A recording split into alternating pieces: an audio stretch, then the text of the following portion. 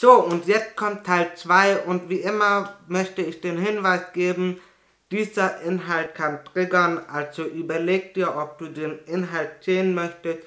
Wenn nicht, dann schalte bitte jetzt weg. Ansonsten wünsche ich dir viel Spaß mit Teil 2. Luca fragt Tyler.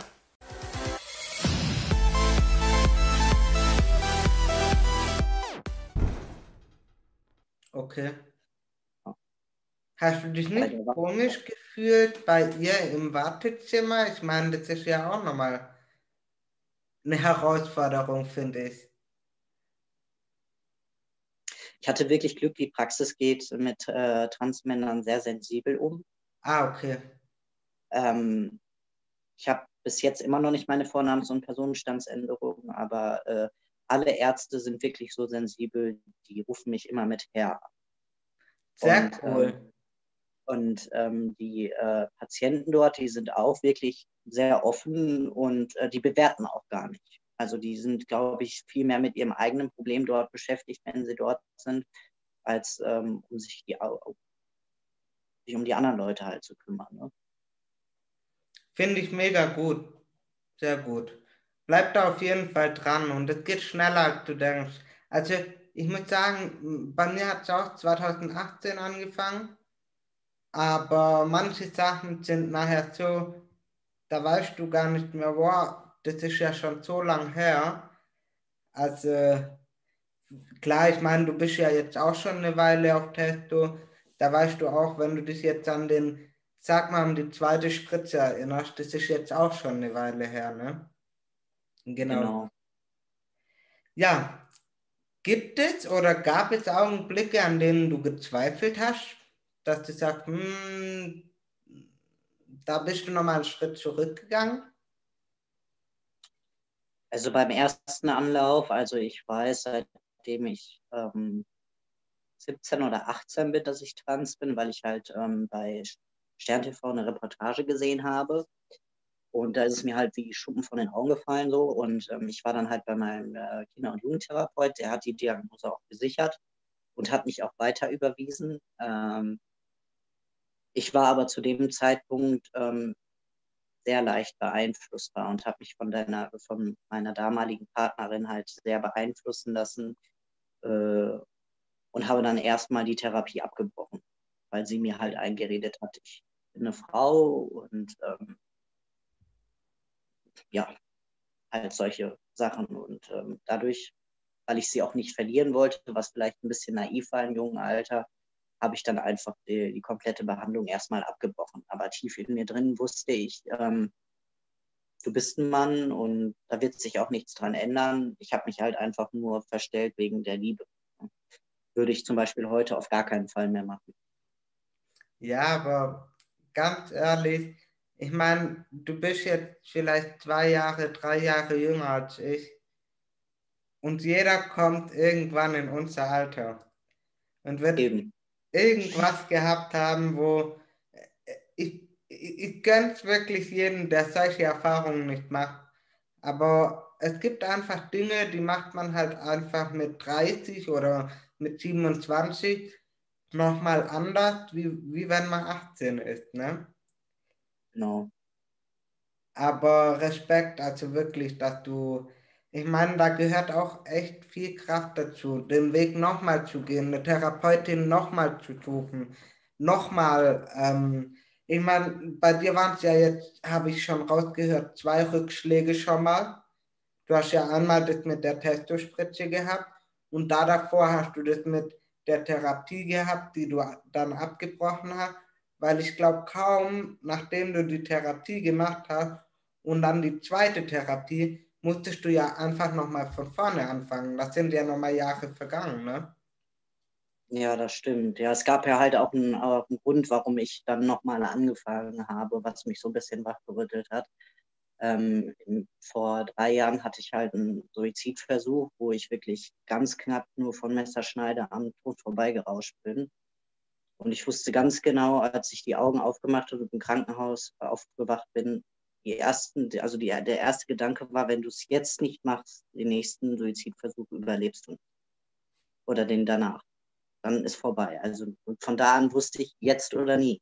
Also das war so ein bisschen Wachrütteln. Ne? Also, also ich verstehe da schon viele, die da mit dem Gedanken Suizid und wie oute ich mich und so, also das ist schon, also das unterschätzen halt auch viele, ne? Die denken, wir Transmänner haben es doch leichter als gedacht. Ne? Ich bin, ich bin auf jeden Fall froh, dass du hier bist, dass wir ein Interview führen können. Und ja, es war sicherlich ein harter Rückschlag. Dennoch hättest du diesen Rückschlag nicht gehabt, Eben. wärst du heute vielleicht woanders. Also nicht, dass du äh, nicht leben würdest oder sonstiges, sondern von der Einstellung her wärst du vielleicht woanders. Genau. Ja. Aber interessant, sehr interessant.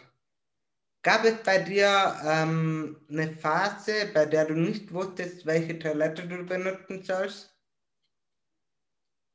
Ja, definitiv ganz zu Anfang. Also ich war immer hin und her gerissen und auch wenn wir irgendwie unterwegs waren, also da war ja noch, da konnten wir ja noch feiern gehen und so, ne? Und ähm, da war dann halt schon immer, kennst das ja selber, wenn man sehr männlich aussieht auf der Frauentoilette, oh, bist ja aber falsch und so, ne? Und dann war das einmal im Einkaufszentrum, da ist ja wirklich, wenn da Black Friday ist oder so, immer so eine Riesenschlange bei den Frauentoiletten im Einkaufszentrum. Und dann habe ich mir jetzt gedacht, so, du stellst dich da jetzt nicht eine Stunde an, du gehst jetzt einfach auf die Männertoilette und äh, guckst, wie es läuft. Und es ist nichts passiert. Also die Männer bewerten einfach nicht. Ne? Die wollen einfach nur auf Toilette gehen und gehen wieder raus. Ne? Da machen sich dann Frauen doch mehr Gedanken als Männer. Und äh, von da bin ich auch weiterhin auf die Männertoilette gegangen. Also man muss sich einfach trauen, denke ich, sonst geht's nicht. Sonst Als du das erste Mal reingegangen bist, wo war da dein Blick? Auf den Boden, oder? Einfach nur schnell rein und wieder raus, oder? Nein, weil ich habe so, ich habe mir so gedacht, wenn du auf den Boden guckst, dann fällst du vielleicht auf und ich bin wirklich sehr aufrecht und habe versucht, sehr selbstbewusst zu wirken und bin einfach da rein und dann in die, äh, in die Kabine und da musste ich erstmal laut ausatmen. Da dachte ich mir, boah, jetzt hast du das, das Schwerste geschafft, so, ne? So. Okay. Sehr interessant. Okay, ähm, ja, wie hat dein Umfeld reagiert? Vielleicht kannst du da ja auch was dazu sagen. Ich meine, du hast dich ja dann quasi zweimal geoutet, oder? Genau, ich bin dann zu meiner Mutter hin als erstes und ähm, habe ihr dann gesagt, ich so, Mama, ähm, ich fühle mich wirklich als Mann. Das war keine Einbildung, wie damals von meiner Ex-Partnerin gesagt. Und ähm, dieses Gefühl hört einfach nicht auf. Ich möchte diesen Weg gehen. Ich habe schon einen Termin gemacht und alles. Und dann sagt meine Mutter nur, jo, ob ich jetzt einen Sohn oder eine Tochter habe, das ist mir im Prinzip egal. Mein Kind bleibt mein Kind und ich will, dass du glücklich bist. Und da ist mir dann halt ein Stein vom Herzen gefallen. Ja. Was war mit deinen Freunden? Äh, meine Freunde haben alle ganz cool reagiert. Die haben gesagt, jo, ändert sich ja nichts, ne? ändert sich ja nur dein Name und ähm, dass, dass du dann äußerlich dann mehr zu dem wirst und die haben das alle ganz locker gesehen. Die haben eigentlich alle nur darauf gewartet, sag ich mal. Mhm. Sehr cool. Ja, manchmal spürt man das auch. Ich meine, gerade bei guten Freunden, da ist das auch keine Frage. Ähm, ja, was ist heute anders als damals? Oh, so viel. Also ich ähm, bin eigentlich auch im Leben angekommen, nicht nur bei mir selbst, sondern ähm, ich weiß, wo ich stehe. Ähm, ich weiß, was meine Stärken sind, das wusste ich vorher zum Beispiel nicht. Ähm, ich bin einfach ziemlich gelassen und entspannt. Ne? Dadurch bei Frauen kreisen ja die Gedanken und man macht sich über alles mögliche Gedanken und ähm, es ist einfach, also ich kann es mir besser eigentlich nicht vorstellen. Ne? Mhm. Also das ist wirklich das Beste, was einem passieren kann. Ne? Ja, Tyler, ähm, wir haben einiges jetzt gehört von dir, also ein sehr interessantes Video, muss ich echt sagen, oder Interview eben. Ähm, dadurch, dass wir jetzt einige Rückschläge auch gehört haben und dass es nicht so einfach bei dir war, bin ich echt gespannt, was dein Tipp ist an jemand, der gerade am Anfang von dem Weg steht. Ja, und das letzte Wort gehört dir. Ich würde sagen, einfach weitermachen, einfach dran glauben und ähm, weitermachen. Ne? Also, weil du kommst irgendwann an. Und, ähm, meine Lehrerin hat damals gesagt, über Umwege kommt man manchmal besser zum Ziel, als wenn man geradeaus geht, weil die Erfahrung dann einfach mehr ist. Ne? Also einfach weitermachen, einfach dran glauben. Mehr, mehr kann ich eigentlich keinem auf den Weg geben.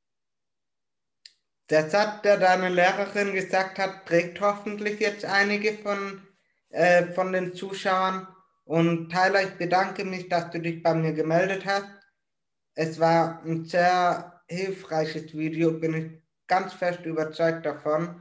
Und ja, ich würde sagen, wenn jetzt irgendwelche Fragen auftauchen, Tyler, ich verlinke natürlich deinen Instagram-Account, ähm, dann können die Leute sich auch direkt an dich wenden oder halt eben hier unten in die Kommentare und Tyler und ich werden euch auf jeden Fall die Fragen beantworten. Und ansonsten würde ich sagen, seid mutig. Dankeschön, Tyler. Vielen Dank. Macht's gut. Ja, danke dir auch. Zunächst mal vielen Dank, dass du das Interview bis hierhin angeschaut hast, weil du bist was Besonderes, weil nicht alle schauen sich das komplette Video an. Und jetzt hätte ich eine Bitte an dich. Wenn du irgendjemanden kennst, wo du sagst, den sollte Luca auf jeden Fall interviewen, dann schreib es gerne unten in die Kommentare rein. Am besten gleich den Instagram-Name, dann kann ich den einfach eintippen und die Person natürlich anschreiben oder du sagst zu dieser Person, hey, schau mal, möchtest du nicht ein Interview machen? Dann soll sich diese Person direkt bei mir melden. Ich würde mich auf jeden Fall freuen. Ansonsten sei mutig und bis zum nächsten Interview.